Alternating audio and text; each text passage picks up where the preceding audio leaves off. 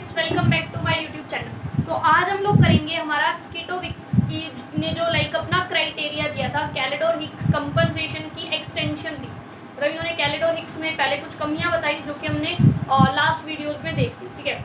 अब उन्होंने क्या किया, अपना एक लाइक बोला कि कैसे इम्प्रूव कर सकते हैं हम कैलेडोर हिक्स क्राइटेरिया को, ठीक है?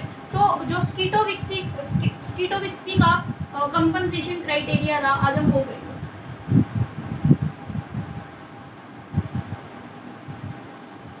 देखो, अगर आपको ये समझना है तो आपको जो है ना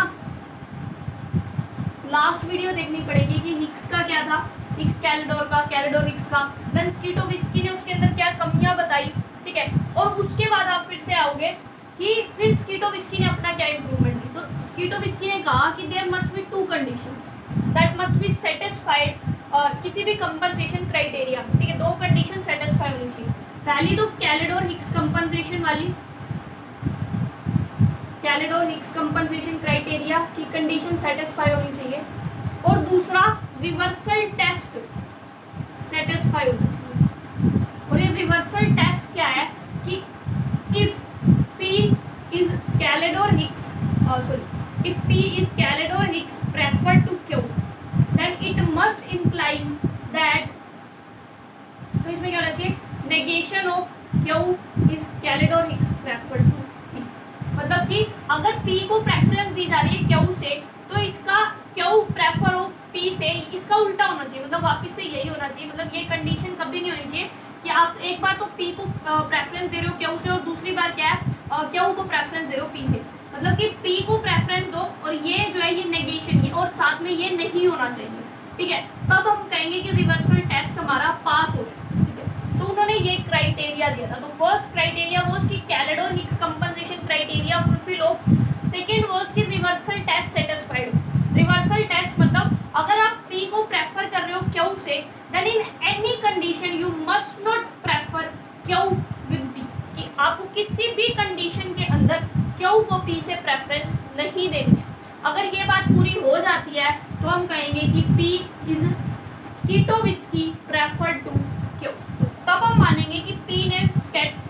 पी को प्रेफरेंस दी स्कीटो विस्की ने अबाउ दी क्यू अगर क्यू प्रेफर ना हो पी से इन एनी कंडीशन ठीक है? और ये सब क्यों हुआ था? ये हमने लास्ट वीडियो में करा कि जब दो यूपीसी आपस में इंटरसेक्ट करती हैं तो क्या होता है? एक बार तो पी को प्रेफरेंस मिल रही थी क्यू से और दूसरी बार क्यू को प्रेफरेंस मिली क्यू से पी से। तो ये क्या हो गया? जो है, एक बार हमने पी को प्रेफरेंस दे दी, दूसरी बार क्यू को प्रेफरेंस दे दी, ठीक है? ये हम कुछ भी ले सकते हैं अपनी मर्ज़ी से। मतलब ओवरऑल बात यह है कि अगर आप एक बार एक चीज़ को प्रेफरेंस दे रहे हो तो दूसरी दूसरी को प्रेफरेंस ही दोगे, उसी के ऊपर। सीधी सी बात है, ठीक है? तो मान लो अगर आप लाइक पिज़्ज़ा पसंद कर रहे हो एक बार में, ठीक है? पिज़्ज़ा आप प्रेफर कर रहे हो बर्गर के ऊपर। तो दूसरी बार में आप क्या बर्गर को प्रेफर नहीं करोगे। You won't prefer burger above the pizza ठीक है? तो सीधी सी बात ये कि अगर आपने एक बार जिसको कंसिस्टेंसी का प्रिंसिपल कि अगर आपने एक चीज़ को एक बार प्रेफर कर दिया तो दूसरी बार आप जो है अपनी प्रेफरेंस चेंज नहीं करने वाले। तो ये बोला स्कीटोविस्की ने, लेकिन हिक्स का जो कंपनसेशन था कैलेडोर का। उसमें बेसिकली क्या हुआ? उसमें उल्टा हो रहा था। एक बार पी को प्रेफरेंस दे दी क्यों के ऊपर दूसरी बार क्यों को प्रेफरेंस दे दी पी के ऊपर, ऐसा हो रहा था। तो इसलिए स्कीटोविस्की ने उसको क्या किया? रिजेक्ट किया। स्कीटोविस्की ने कहा कि ये नहीं होना चाहिए। अगर आप एक बार पी को प्रेफर कर रहे हो तो आप क्यों को प्रेफर नहीं कर सकते। तब मैं मानूँगा। तब मैं प्रेफरेंस दूँगा पी को अगर in any condition Q P के ऊपर जो है वो लाइक प्रेफर ना किया जाए। तो Kaldor Hicks compensation criteria satisfy होना चाहिए। दूसरा रिवर्सल टेस्ट अब कैलेडोर हिक्स कंपनसेशन क्राइटेरिया क्या होता है? वो हमने लास्ट वीडियोस में कर रखा है। तो आपकी जो वेलफेयर इकोनॉमिक्स की जो प्लेलिस्ट बनी हुई है, आप उसमें जाके और देख सकते हो Kaldor Hicks compensation criteria then उसमें क्या कमियाँ थी जो स्केटो विस्की ने बताई। और उसके बाद आप थर्ड इस वीडियो पे आना, तभी आपको समझ आएगा। हाँ अगर आपको पहले से आता है तो आप डायरेक्टली ये देख सकते हो, ठीक है? सो अब हम डायरेक्टली रिवर्सल टेस्ट पे आते हैं। तो सिंपल सी बात है कैलेडोर हिक्स तो आपको पता है, ठीक है? स्कीटो विस्की का कंपनसेशन क्राइटेरिया भी हमें लाइक हमने देखना है। तो स्कीटो विस्की में कैलेडोर हिक्स सेटिस्फाई होना चाहिए, जो कि हमने कर रखा है पहले से। मतलब वो कंडीशन सेटिस्फाई होनी चाहिए। और दूसरा रिवर्सल टेस्ट सेटिस्फाई होना चाहिए। तो रिवर्सल टेस्ट वाली कंडीशन को दिखाने के लिए उन्होंने क्या लिया कि दो इंटरसेक्टिंग यूपीसी नहीं ली, क्योंकि उन्होंने इंटरसेक्टिंग यूपीसी को तो रिजेक्ट किया था। उन्होंने क्या ली? दो यूपीसी ली, जो कि शिफ्ट मतलब एक यूपीसी है और दूसरी उसके ऊपर है। शिफ्टिंग यूपीसी है तो ये यूपीसी है सपोज़ सी डी और ये यूपीसी लिए ये पैरेलल होनी चाहिए। या ई एफ़ ठीक है। तो ये यूपीसी उन्होंने ली, ठीक है। एक पॉइंट उन्होंने मान लो यहाँ लिया क्यू और दूसरा यहाँ पर लिया एस ठीक है। तो एक पॉइंट उन्होंने क्यू लिया, दूसरा पॉइंट उन्होंने क्या लिया? एस लिया। अब यहाँ पर स्कीटोविस्की ने क्या किया कि उन्होंने क्या कहा कि हम क्या है? एक पॉलिसी चेंज की वजह से क्यू से एस की तरफ़ मूव कर रहे हैं। We are moving from Q to S हम लोग क्या है? क्यू से एस की तरफ़ मूव कर रहे हैं। तो according to Kaldor Hicks compensation criteria क्या होना चाहिए? याद है ये? कुछ कुछ, ठीक है? तो क्यू पे बेसिकली हम क्या है? ए की यूटिलिटी सपोज़ हम ओ ए ले रहे हैं बी की ओ बी ले रहे हैं। क्यू से हम एस पे पॉलिसी चेंज आया जिसकी वजह से हम क्यू से एस पे चले गए थे, ठीक है? और क्यू से हम एस पे चले गए थे पॉलिसी चेंज होने की वजह से? तो हमारी क्या हुई? ए की यूटिलिटी कम हुई और बी की यूटिलिटी बढ़ी। और हमने कहा था कि बी जो है अब कंपनसेट करेगा ए को। किसकी? कैलेडोर हिक्स कंपनसेशन क्राइटेरिया के अकॉर्डिंग बी जो है ए को जितना लॉस हुआ, उतना कंपनसेट कर देगा और बाकी फ़ायदा खुद रख लेगा तब हम कहेंगे ये कैलेडोर हिक्स कंपनसेशन क्राइटेरिया के अकॉर्डिंग वेलफेयर अचीव तो अब क्या हुआ कि हमने क्यू से एक सीधी लाइन डाली सपोज़ थी तो एक रीडिस्ट्रीब्यूशन के थ्रू हम पॉलिसी चेंज की वजह से क्यू से एस पे पहुँचे? रीडिस्ट्रीब्यूशन के थ्रू हम एस से टी पे अब इस टी पॉइंट पे क्या हो रहा है? टी पॉइंट पे अगर हम देखें तो बी की यूटिलिटी बढ़ रही है और ए की यूटिलिटी उतनी है जितनी की क्यू पे थी। ठीक है ए की यूटिलिटी उतनी है जितनी क्यू पे थी। तो क्या हुआ? बी ने कंपनसेट कर दिया ए को उसके लॉसेस के लिए और अभी भी उसके पास उसको फ़ायदा हो रहा है। पहले उसको इतना फ़ायदा हो रहा था, अब इतना फ़ायदा हो रहा है कंपनसेट करने के बाद। ठीक है? और एस और टी क्या है? सेम यूपीआई यूपीसी पे है। तो एस और टी क्या है? इक्वल लेवल ऑफ़ सेटिस्फेक्शन जो है मिल रही है इनको। तो यहाँ से कैलेडोर हिक्स कंपनसेशन क्राइटेरिया के अकॉर्डिंग क्या हुआ हमारा? कि जो एस है S is Kaldor Hicks prefer to Q? या फिर हम ऐसे भी लिख सकते हैं T is Kaldor Hicks prefer to Q?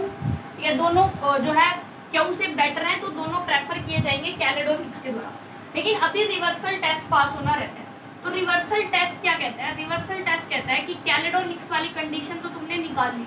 ठीक है? तो तुमने निकाल लिया S is Kaldor Hicks prefer to Q अब बोल रहा है, इन एनी केस उल्टा नहीं होना चाहिए। उल्टा इन दी सेंस क्यों जो है, वो कैलेडोर हिक्स प्रेफर ना करे एस के ऊपर। ठीक है? अब देखो, अब हम यहाँ पर बेसिकली सिर्फ़ इतना सा एक्सप्लेन करते हैं। अगर हम अब इन को देखें, ठीक है, अगर हम इन दो यूपीसी को देखें तो हम इन एनी वे हम किसी भी तरीके से, क्यों से, किसी भी ऐसे पॉइंट पे रीडिस्ट्रीब्यूशन के थ्रू नहीं पहुँच सकते, जिससे कि जो हमारा बेटर हो ऐसे।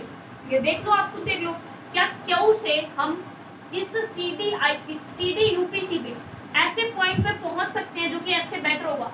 कभी नहीं पहुँच सकते, क्योंकि एस जो है वो एक हायर यूपीसी पे है। और higher the UPC higher would be the total utility मतलब higher would be the satisfaction so higher UPC या हायर सेटिस्फेक्शन मिलेगी हायर हमको यूटिलिटी मिलेगी। तो ऐसा कभी नहीं होगा कि हम जो है जो है कि क्यू से रीडिस्ट्रीब्यूशन करें और हम कोई बेटर पॉइंट ले लें एस तो एस से भी। तो इट इज़ इट पॉसिबल तो ये हमें सिर्फ़ यहाँ लिखना होता है कि कभी ऐसा नहीं होगा कि हम क्यू से uh, कोई भी लाइक रीडिस्ट्रीब्यूशन करें और क्यू से ऐसे पॉइंट पे पहुँच जाए जो कि एस से बेटर हो। तो ये क्या तो अब क्या रिवर्सल टेस्ट पास होता दिख रहा है? आपको ठीक है तो हम क्या बोलेंगे? तो अब हम क्लियरली कह सकते हैं कि हमारा रिवर्सल टेस्ट भी पास हो गया, कि हिक्स कैलेडोर कंपनसेशन क्राइटेरिया भी पास हो गया। तो अब बोल सकते हैं हम कि S is Kaldor Hicks prefer to Q? ठीक है S is Kaldor Hicks prefer to Q? If sorry S is Scitovsky prefer to Q? If S is Kaldor Hicks prefer to Q? And and negation S Q is Kaldor Hicks prefer to S तो अब अब स्कीटो whisky कहेगा कि हाँ मैं prefer कर रहा हूँ एस को एज कंपेयर टू क्यू क्योंकि अब हम क्यू से वापस एस पे कभी भी प्रेफर नहीं करेंगे, ठीक है? अगर ये अगर ये आईसीज इंटरसेक्ट कर रही होती तो कभी भी जो है, ये कंडीशन सेटिस्फाई होती। तो सीधी सी बात उन्होंने बस इतनी सी एक्सप्लेन की थी कि स्कीटो विस्की ने कहा, मैं तभी प्रेफर करूँगा किसी भी चीज़ को दूसरे के ऊपर जब वो इन एनी कंडीशन दूसरा कंसिस्टेंसी ब्रेक ना हो ठीक है? तो ये आपको ज़्यादा बेटर समझने के लिए आपको लाइक जो इसका स्कीटो इसकी का पैराडॉक्स है वो पढ़ना पड़ेगा कि उन्होंने कैसे एक्स वाले को जो है रिजेक्ट किया हिक्स वाले में लाइक फॉल्ट निकाले और फिर उन्होंने अपना ये रिवर्सल टेस्ट वाला फॉर्मूला लाए सो so, ये जो कमी थी वो हिक्स वाले में ये कमी थी कैलेड और हिक्स वाले में कि उनका क्या हो रहा था एक बार अगर उन्होंने एक गुड़ को प्रेफर कर दिया दूसरे पे तो क्या हो रहा था दूसरी बार एक प्रेफर हो रहा था फ़र्स्ट के ऊपर वेरी गुड एक बार पिज्जा को प्रेफरेंस दी थी उन्होंने बर्गर से तो बर्गर प्रेफर हो रहा है पिज्जा से दूसरी बार।